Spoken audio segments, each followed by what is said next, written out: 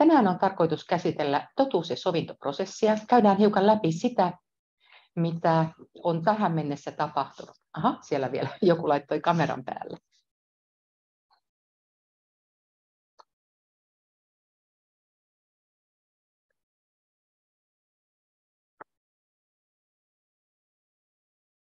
Jos vahingossa laitatte kameran päälle, niin täällä on kyllä tekninen tuki, joka sitten sammuttelee niitä teidän vahingossa päälle menneitä kameroita, eli ei mitään hätää.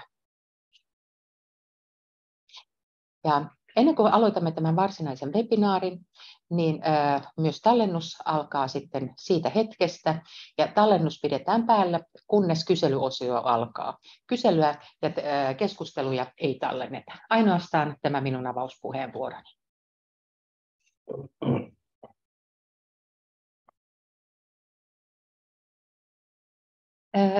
Tämän webinaarin tarkoituksena on käydä hiukan läpi sitä, että mitä totuus ja sovintoprosessissa on tähän mennessä tapahtunut.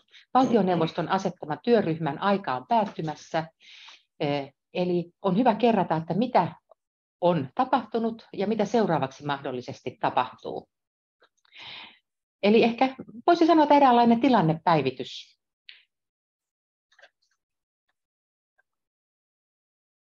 Ja valtioneuvoston totuus- ja sovintoprosessia valmisteleva työryhmä niin nyt on mielen, elämä mielenkiintoisia aikoja, että kuinka kun Suomessa uusi hallitusohjelma lähtee, lähtee käyntiin, että millä tavalla siellä on ja onko siellä totuus- ja sovintoprosessia mainittu. Eli valtioneuvoston tämänhetkinen työryhmä valmistelee mallia, jota aion tässä esitellä, mutta sitten miten se jatko on, niin on tietysti auki. Ja teille annan annetaan totta kai mahdollisuus kysellä ja kommentoida sitten tämän alkuesittelyn jälkeen, että varataan siihen riittävästi aikaa. Eli käydään läpi, mitä on tapahtunut, eli pieni katsaus menneeseen. Käydään läpi sitä valtioneuvoston tai sitä tulevaa malliehdotusta ja sen jälkeen teillä on, on aikaa kysyä. Kuinka paljon meillä oli varattu tähän, eli puolitoista tuntia, ihan riittävästi aikaa. Ja totta kai mennään joustavasti, että jos kysymyksiä esimerkiksi teillä ei kovin paljon ole, niin lopetetaan sitten vaikka aikaisemmin.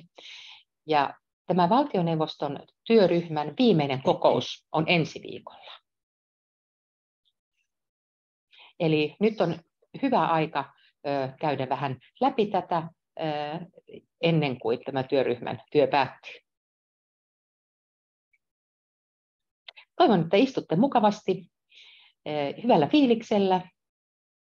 Ja minä pidän nyt tämän, tämän, tai käytän nyt tässä tämän puheenvuoron. Täällä ei muita asiantuntijoita tällä hetkellä ole suunniteltu. Täällä on kyllä mukana minulla yksi kollega, tekninen tuki ja sitten on myös viittomakielen tulkit täällä minun kanssani. Ollaan täällä Valkealla talolla ja täältä tämä suora lähetys on, on tota, käynnissä.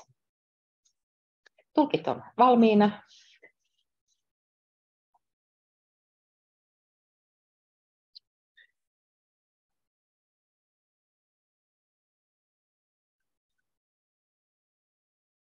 Eli kerrotaan, mistä on lähdetty liikkeelle ja myös näitä viimeaikaisia tapahtumia.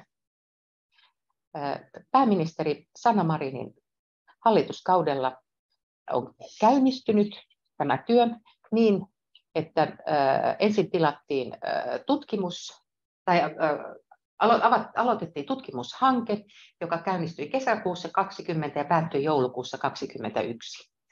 Ja hankkeen nimi, tämän tutkimushankkeen nimi oli Viitotut muistot. Se oli laaja selvitys ja raportti siitä, että, että millaisia vääryyksiä ja oikeuden loukkauksia yhteisö on kokenut. Eli tavallaan hanke keräsi tietopohjan sekä myös käynnisti keskustelua siitä, että mitä edellytyksiä prosessin jatkolle on. Ja huhtikuun viides päivä viime vuonna, eli 2022, Oikeusministeriö järjesti pyöreän pöydän keskustelun. Siinä oli laajasti mukana Siis oikeusministeriö oli kokoonkutsujana ja sen lisäksi pyörässä pöydässä oli mukana viittomakielisen yhteisön edustajia.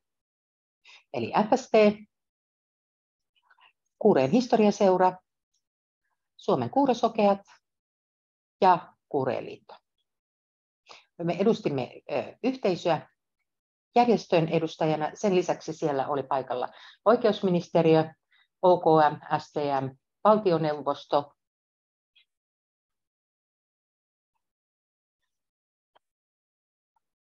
ja, ja valtion ja järjestöjen edustajan pyöreän pöydän keskustelun tavoitteena oli miettiä sitä, että mitä tämä käynnistäminen tarkoittaa, jota hallitusohjelmassa oli niin kuin asetettu tavoitteeksi, että käynnistetään, että mitä se tarkoittaa. Ja se, että miten prosessi tästä näin lähtee liikkeelle. Ja me kuulimme siellä myös saamelaisten edustajia, he kertoivat meille, että miten heidän prosessissa on alkanut ja miten se on mennyt. Ja sen lisäksi tietysti oli kannanotto siitä, että mitä tulisi tavallaan olla ne ensimmäiset askeleet. Ja oikeusministeriö veti tätä niin kuin valmistelevaa työryhmää, ja se oli erittäin hyvä ja laajapohjainen keskustelu.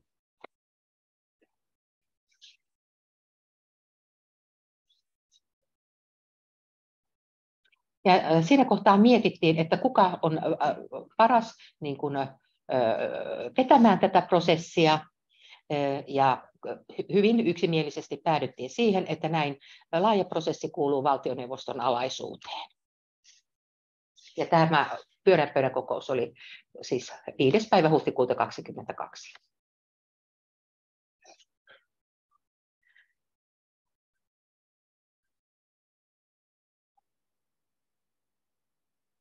Ja tätä prosessia valmistelemassa, niin totta kai yhteisö itse, ja, eli me järjestöt, järjestimme laajan yhdistyskiertueen,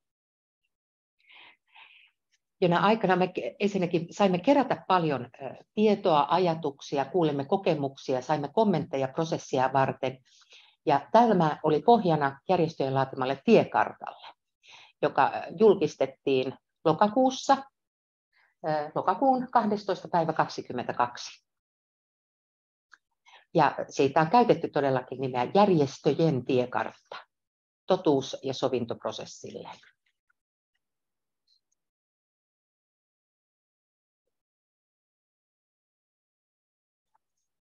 Tämä löytyy myös meidänkin kotisivuiltamme. Eli tämä on yhteisön näkökulma siihen, että miten tässä prosessissa pitää ottaa huomioon, miten se pitää toteuttaa ja mitkä ovat tavallaan ne reunaehdot ja tavoitteet, että tämä prosessi voi lähteä liikkeelle ja ylipäänsä toteutua. Ja valtioneuvoston puolella tähän on tutustuttu myös totta kai.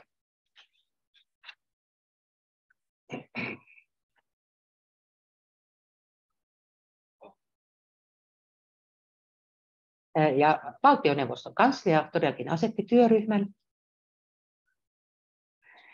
Ja työryhmän kokous, ensimmäinen kokous oli viime vuoden puolella joulukuussa.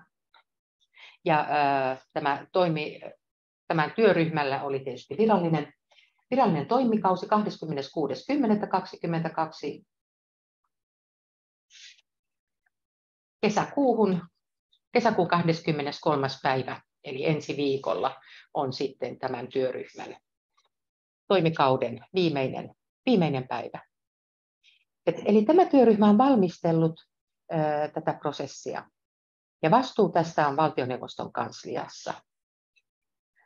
Ja siinä on ollut yhteistyössä oikeusministeriö sekä sosiaali- ja terveysministeriö.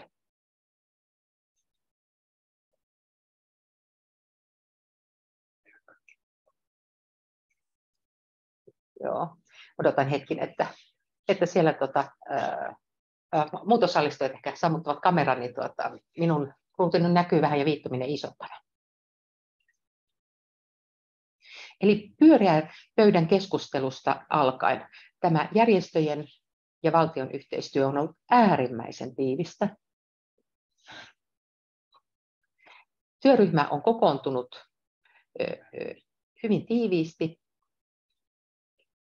Ja sen tarkoitus on valmistella totuus- ja sovintoprosessin käynnistämistä. Eli prosessi itsessään ei ole käynnistynyt vielä. Kokouksia on ollut seitsemän. Eli viime vuonna yksi ja nyt kevään aikana on kokoonnuttu vielä kuusi kertaa. Ja samaan aikaan on kuultu hallinnon, eri hallinnonalojen edustajia. He ovat käyneet kokouksessa. Sen lisäksi meillä on käynyt totuus- ja sovintoprosessien asiantuntijoita antamassa omaa, omia näkemyksiään ja tietoaan meille tähän valmistelutyöhön.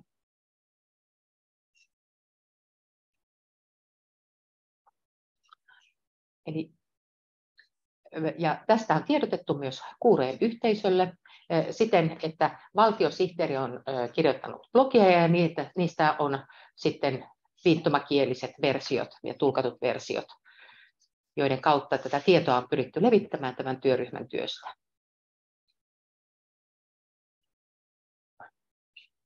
Ja kun tämä työryhmä aloitti työssä, niin hyvin nopeasti siinä rinnalla alkoi toinen tärkeä prosessi, eli psykososiaalisen työn järjestäminen. Ja tämä psykososiaalinen tuki liittyy siihen, että kun prosessi alkaa ja sitten alkaa kuulemiset ja ihmiset lähtevät kertomaan traumoistaan ja erilaisista vääryyksistä ja syvistä tunteista, joihin niihin liittyy, niin siihen saattaa myös tulla silloin ammattiavun tarve tuki mielenterveydelle, tuki sille traumojen purkamiselle. Eli tämä on hyvin tärkeää tämä psykososiaalisen tuen järjestäminen ja se on kulkenut tässä rinnalla.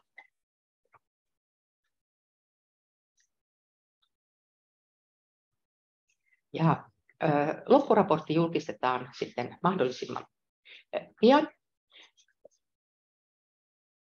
Eli tässä on hyvin tärkeää, että kun luodaan rakenteita, niin mietitään myös, että miten tämä psykososiaalisen tuen malli, millä tavalla se niin kuin järjestetään ja toteutetaan. Eli tämä ehdotus on tulossa hyvin pian. Ja sitä varten tulee tietysti varata myös riittävät varat. Ja tämä selvitys sisältää itsessään arviot, paljonko tukea tarvitaan ja paljonko se tulisi maksamaan. Ja henkilöt, jotka kokevat tarvitsevansa ja haluavat käyttää psykososiaalista tukea, jos se hoidetaan, hoidetaan tulkkauksen kautta, niin se täytyy silloin järjestää erikseen. Se on vaativan tasotulkkausta. Osa palvelusta totta kai psykososiaalisesta tuesta niin voi olla suoraan viittomakielistä, osa tulkkien kautta järjestettävää, mutta se tulkkaus tulee nivoa osaksi sitä prosessia.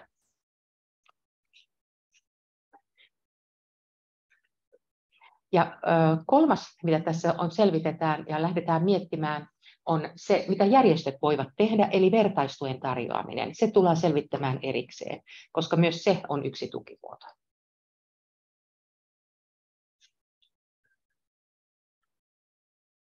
Hetkinen, katson, että olenko muistanut kaikki ne askeleet, mitä tässä on ollut.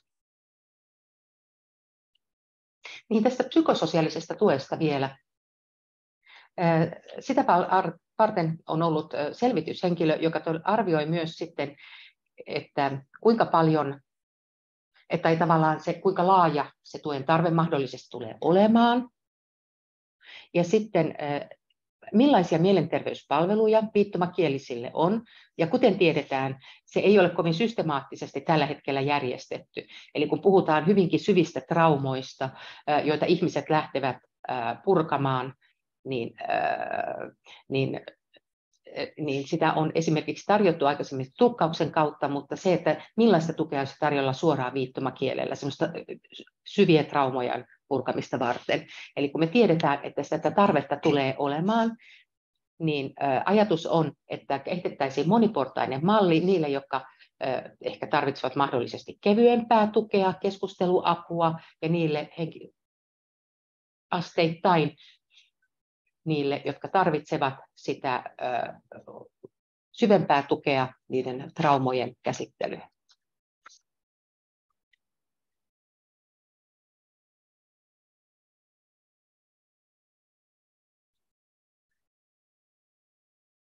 Eli Ensi viikolla on valtioneuvoston työryhmän viimeinen kokous.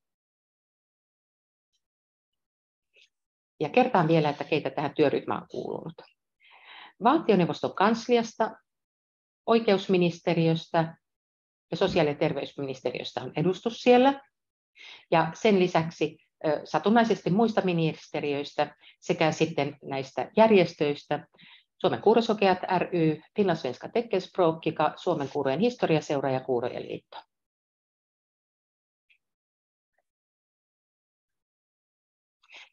Ja ensi viikon kokouksen teemana on prosessin toteutuksen malli. Eli se on tarkoitus nyt keskustella ja hioa loppuun asti, eli millainen se prosessi tulisi olemaan, millä mallilla se toteutetaan.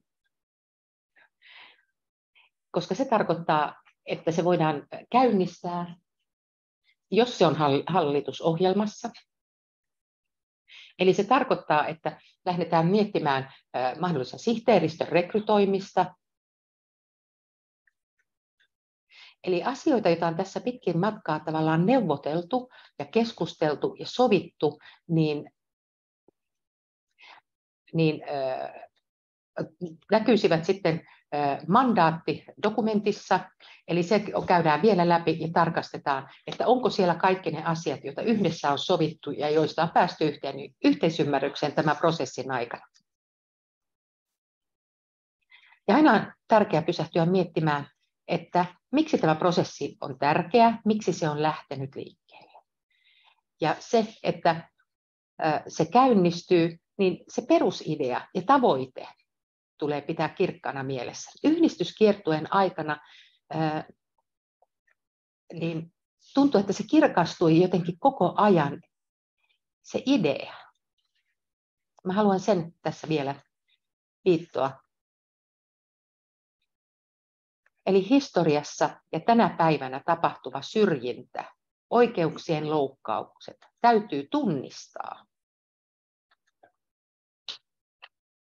dokumentoida ja arvioida, että kuinka nämä oikeuden loukkaukset ja sorto vaikuttavat kuuroihin ja viittomakielisiin ja meidän asemaan ja elämään ja oikeuksien toteutumiseen miten ne ovat vaikuttaneet ja miten vaikuttavat. Ja kun ne tunnistetaan, että mitä niiden vaikutukset ovat lainsäädännössä, rakenteissa ja palvelussa, niin millä tavalla nämä epäkohdat ja vääryydet voidaan purkaa. Eli että ne eivät enää toistuisi koskaan. Mutta tämä ei riitä. Toinen tärkeä tavoite on se, että laajemmin suomalaisessa yhteiskunnassa olisi tietoisuutta siitä, että millainen meidän historiamme on ollut, oikeudet, tarpeet ja niin edelleen. Eli tieto leviäisi laajalle yhteiskuntaan ja ihmiset ymmärtäisivät näitä asioita paljon paremmin. Ja sen lisäksi, että se yhteistyö, jonka kautta ja avulla nämä vääryydet voidaan päättää, Eli Suomen valtio, sen vastuu on se, että yhdessä yhteisön kanssa vahvistetaan meidän oikeuksien toteuttumista ja vääryyksien päättymistä. Ja erittäin tärkeää tässä on miettiä, että jos lainsäädäntö on hyvä, tietoisuus lisääntyy, palvelut paranee, riittääkö tämä? Kun ajatellaan, että yhteisössä on paljon taakkaa, traumoja ja taakkaa, joka siirtyy eteenpäin, niin miten yhteisö tervehtyy? Tästä pitää pitää huoli. Vaikka asiat olisivat hyvin, mutta ne traumat jäävät ja siirtyvät yhteisön sisällä, millä tavalla ne päästään purkamaan niin, että yhteisö itse tervehtyy ja eheytyy?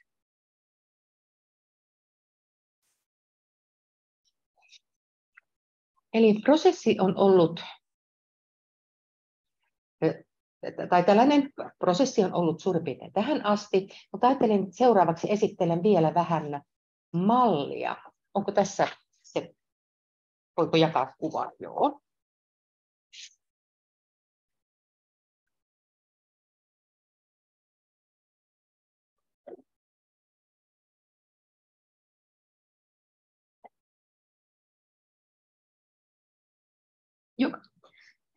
Jokainen voi säätää sitä omaa näyttöä vähän, että pienentää sitä, sitä kuvaa ja jos haluaa nähdä minun viittomiseni vähän isompana, että voitte itse säätää. Mäkin säädän vähän että, tätä.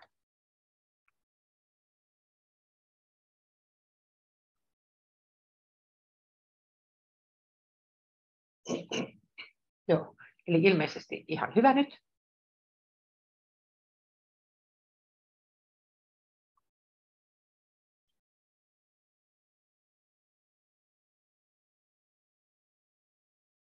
Seuraava sivu.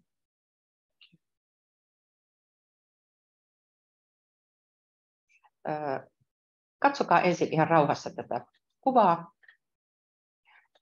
Tämä on käännetty myös ruotsin kielelle, katsotaan sekin kohta. Mutta ensin tämä suomenkielinen.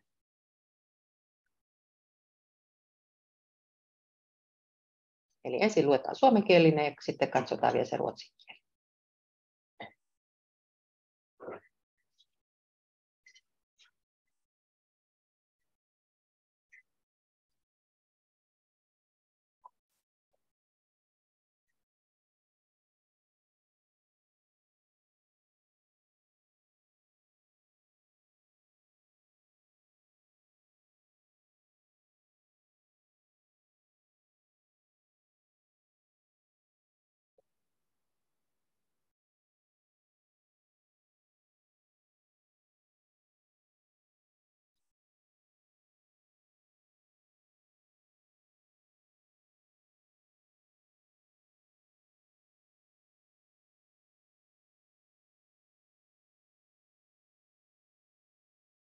Sitten katsotaan ruotsinkielinen.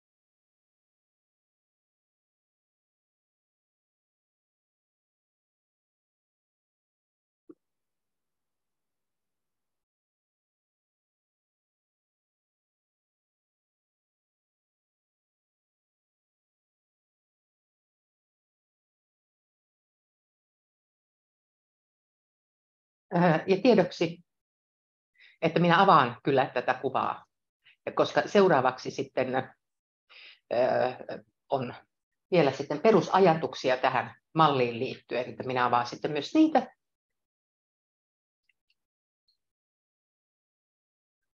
Ja nämä ovat suomeksi ja ruotsiksi siis tämä kuva, mutta tota, sitten mennään, tota, minulla on hiukan tekstipätkää siitä, että olen avannut tätä kuvia. Sekin on suomeksi ja ruotsiksi olemassa.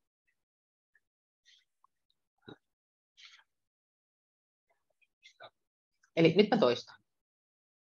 Eli, eli näyttää siltä, että hallitus on nyt syntymässä. Ja kun hallitusohjelma julkistetaan, niin tietysti ensin katsomme, että löytyykö totuus- ja sovintoprosessi myös uuden hallituksen ohjelmasta.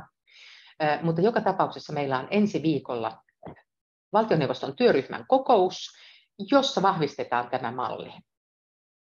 Ja sit toivotaan, että hallitusohjelman perusteella sitä lähdetään sitten, sitten toteuttamaan. Eli, eli tämä on nyt sitten seuraava jännitysmomentti. Eli, ja seurataan, että, että koska tässä on se prosessin tarkoitus niin kuin tavallaan rakenteeksi, rakenteeksi purettu.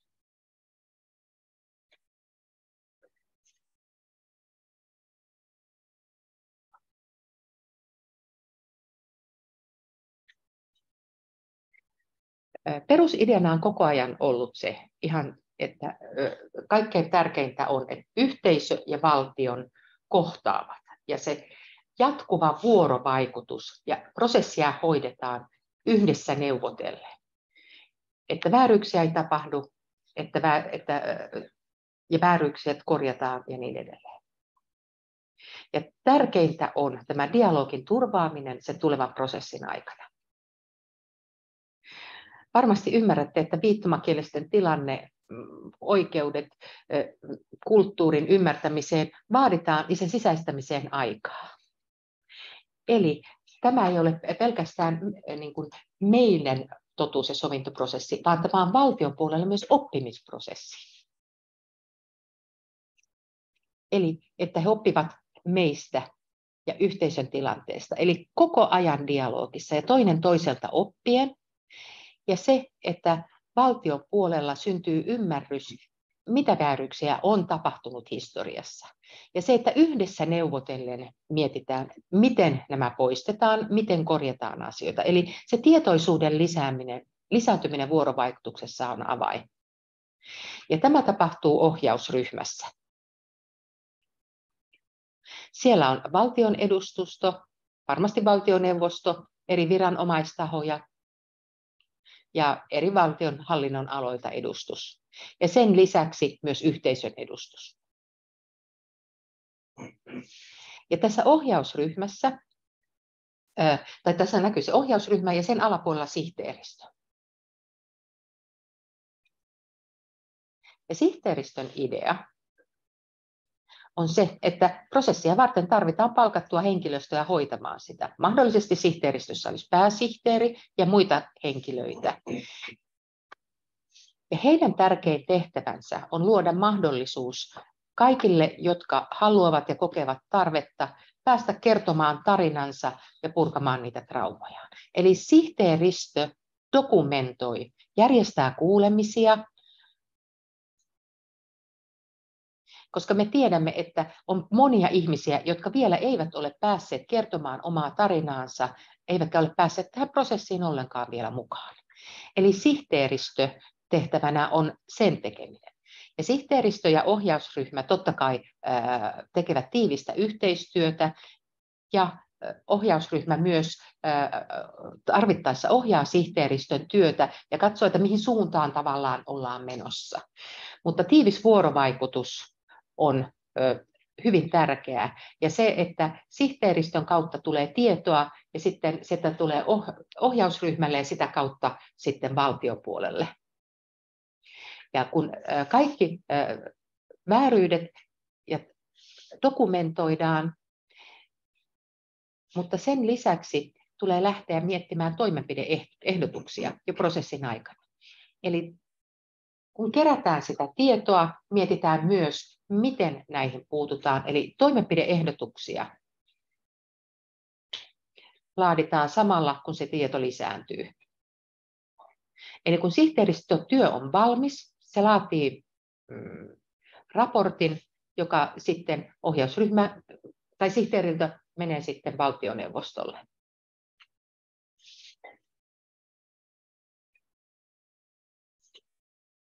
Sitten tässä näkyy tämmöiset keltaiset sivulaatikot, PS-tuki ja V-tuki.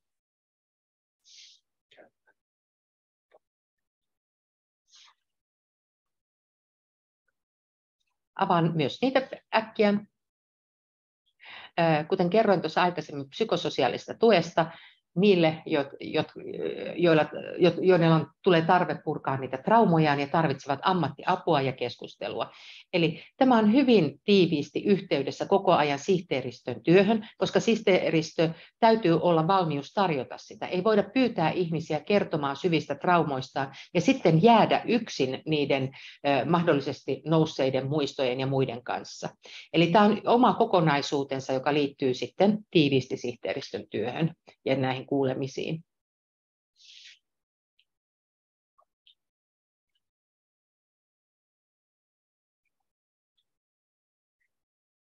Eli valmius psykologososiaaliseen tukeen, mutta sitten toisaalta tämä V-tuki, puhutaan vertaistuesta, joka on muodoltaan ja keinoiltaan kevyempää apua. Sitä voidaan esimerkiksi järjestöt voivat miettiä, kuinka rakennetaan tämmöisiä mahdollisia vertaistukikohtaamisia ja vertaistukiapua.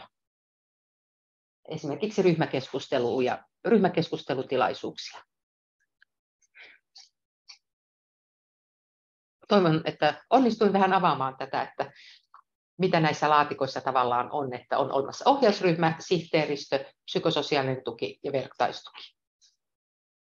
Ja jatkuvasti tämän prosessin edetessä tulee tarkistella, että ollaanko menossa oikeaan suuntaan. Ja tämä tehdään myös totta kai keskustelulla. Eli koko ajan ohjataan tätä laivaa ja varmistetaan sitä, että prosessi on juuri sitä, mitä me, mitä me haluamme ja että se suunta on oikea.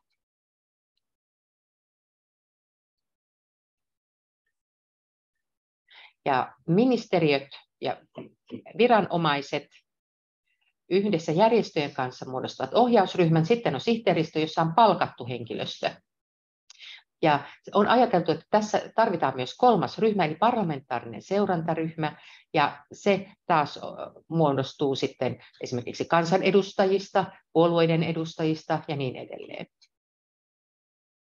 Ja työn edetessä heille raportoidaan koko ajan, että heidän myös tieto siellä lisääntyy ja tietoisuus tästä prosessista ja että he pääsevät seuraamaan sitä. Eli se on, se, he seuraavat koko ajan ja saavat tietoa prosessin etenemistä.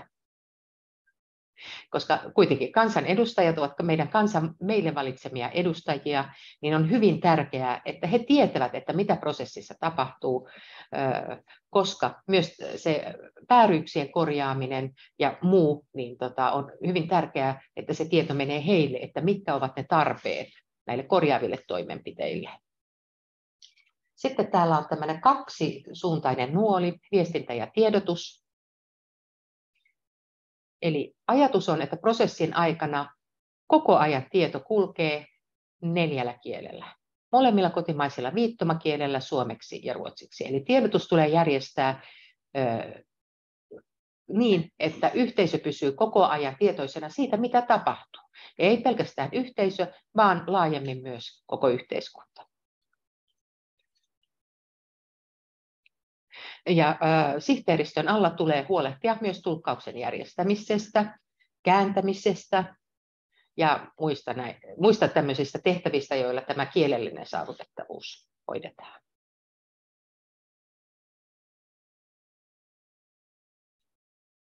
Ja äh, sitten otetaan suomeksi ja ruotsiksi vielä pääpointit uudestaan.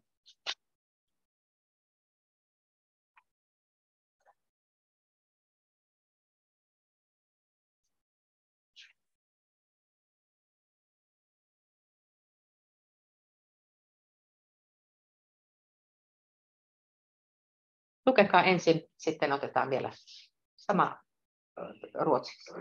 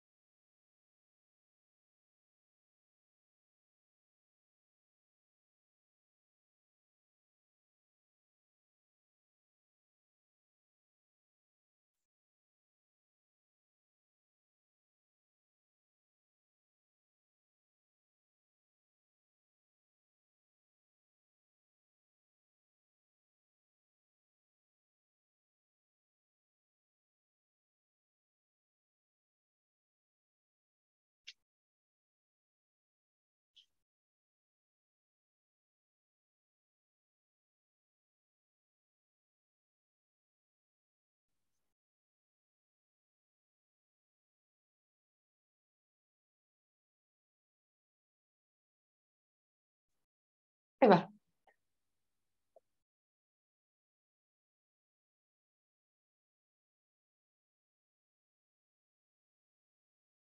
Eli mä annan tuolla kollegalle sitten tota merkit, käydään vaikka muutama, muutama raskalainen viiva läpi ja sitten katsotaan ruotsiksi ne. Ja vaikka esimerkiksi mennään kolme, kolme kerralla, niin tota, yrittää kuljettaa Suomea ja Ruotsia tässä rinnakkain. Mä oon näitä asioita tässä jo ottanut esiin, mutta kerrataan vielä. Eli perusajatuksena on se, että jatkuva dialogi yhteisön ja valtion välillä. Ja sen dialogin tulee, se pikkuhiljaa syvenee ja se ymmärrys. Ja tämä vaatii aikaa. Tämä ei tapahdu hetkessä, joka tarkoittaa sitä, että prosessi voi viedä vuosia.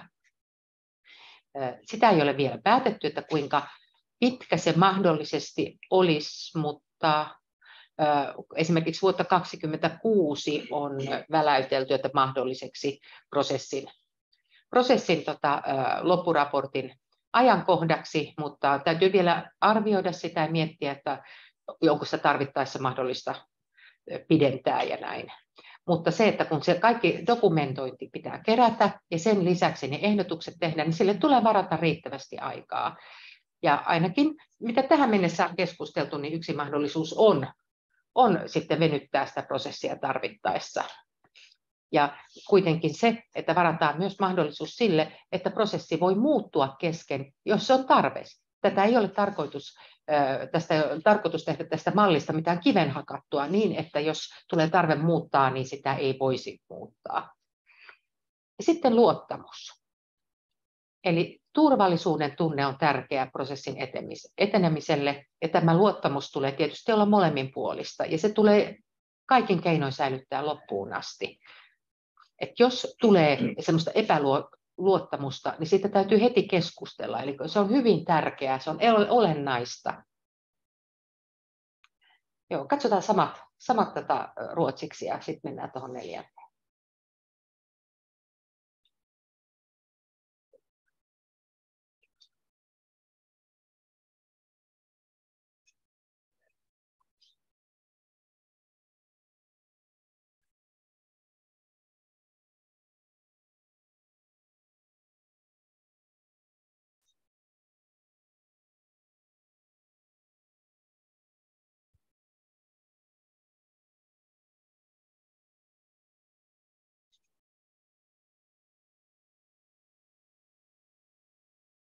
Kertaaminen on aina hyvä.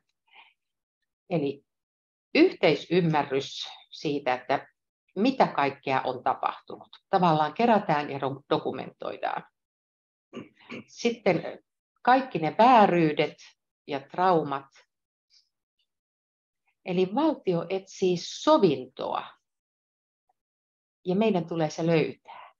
Eli tavallaan valtion velvollisuus on etsiä sitä, miettiä keinoja, oppia ja etsiä, että millä tavalla nämä vääryydet voidaan sovittaa. Eli valtio etsii ja sitten jossain vaiheessa yhteisö löytää sen sovinnon. Ja nämä koetut kärsimykset saadaan purettua, yhteisössä olevat henkiset taakat ja taakkojen siirtyminen loppuu. Eli ne traumat saadaan käsiteltyä ja päästään eteenpäin. Ja yhdessä varmistetaan, että näin ei tule enää koskaan käymään. Ja se on ihan selvää, että lainsäädäntö ja muut tulee korjata. Että, ja lainsäädännössä esimerkiksi yhdenvertaisuuslaki on hyvä, mutta kaikki ei vielä toimi ja lainsäädännössä on edelleen aukkoja. Ja se on yksi osa prosessia. Ja psykososiaalinen tuki tulee olla kunnossa. Ammattiapua tulee olla tarjolla henkilöille, jotka sitä kokevat tarvitsevansa. Ja niin, että henkilö ei tar- joudu sitä itse etsimään, vaan se järjestetään tämän prosessin yhteydessä. Ja tiedotus ja viestintä ovat jatkuvia.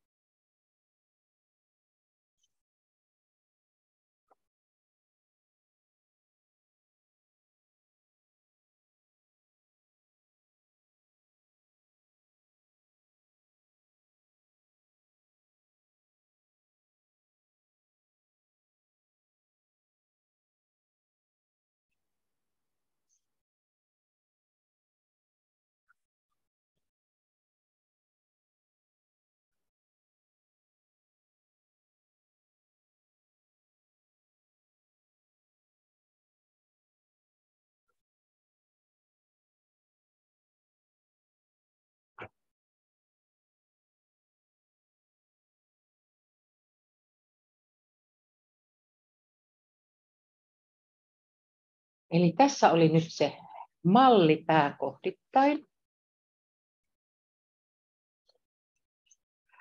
Ja kolmas osa oli ajateltu, että nyt sana olisi vapaa. Jos teillä on kysymyksiä, ajatuksia, haluatte kommentoida jotain, niin olkaa hyvä.